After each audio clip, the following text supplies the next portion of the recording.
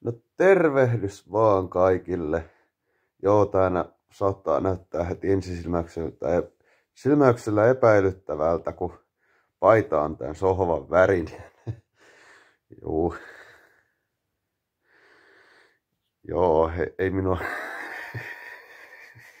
minua ole laitettu mihinkään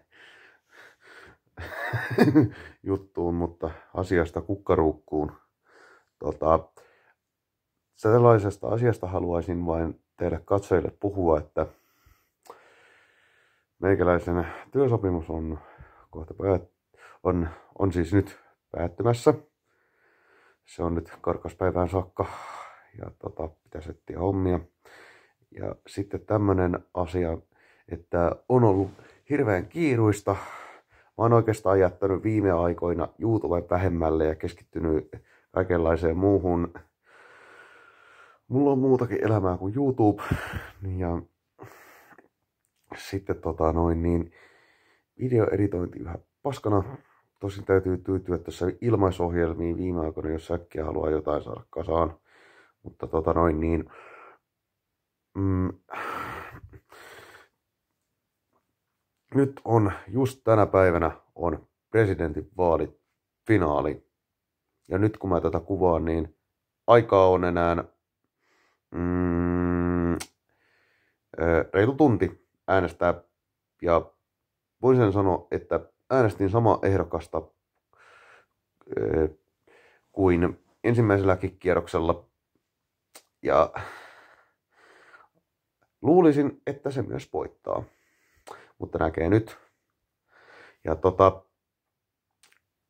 jos te nyt ehditte katsoa tämän videon ennen kuin menette äänestää, niin te koit... Ja jos ette ole vielä äänestänyt ja teillä on mahdollisuus, niin menkää nyt ihmeessä sekin hoitaa alta pois. Teillä on mahdollisuus vaikuttaa Suomen tulevaisuudesta.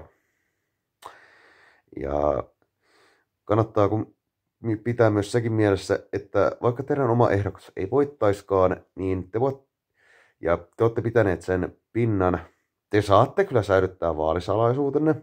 Minä en sitä teiltä ala tiedostelemaan. Te voitte kyllä kommenttikenttään laittaa, ketä äänestitte, jos haluatte.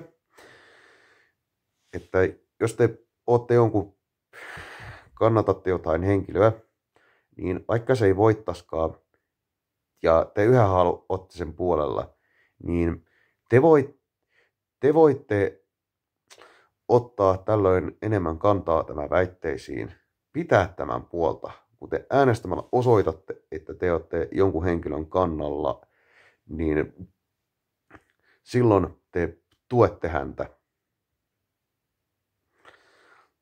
Ainakin henkisesti. Ja mä voin sen sanoa, että itse en tiedä polikaa, politiikasta paljonkaan verrattuna muu, muuhun mun ikäryhmään, vaikka lukioon onkin käynyt. Mutta itse kiinnostaa lähinnä semmonen, että että mitä mä teen kuukauden päästä. Toivottavasti Suomella, Suomen tulevaisuus on paljon valoisampi kuin nytten kielikuvallisesti. Ja itse olen, tota noin, niin, jos teitä kiinnostaa, niin keväällä, tänä keväänä olen Kummakoniin, ai, kunna, Kummakonissa aikeessa pitää luentoaiheesta Disney Nostalgia pilattu ja otan myös esille asioita, mitkä on monelta, ainakin suomalaiselta katsojalta jäänyt pimentoon. Muun muassa se, ettei Ankronikassa ja Chippendaleissa ole näytetty puole, puoltakaan jaksosta suomeksi dupattuna. Mutta tota noin niin, mä myös etsin, koitan etsiä seuraa itselleni. Ja sitten mulla on tässä mä oon viime aikoina saanut vähän enemmän vastuuta, että pitänyt tiettyjä ongelmiakin hoitaa. Ja mä ajattelin tässä, kun mä saan tämän kuvattua, niin mennä hoitaan erään jutun loppuun, minkä lupasinkin, joten nähdään taas muiden videon parissa. Ja siihen asti moikka moi!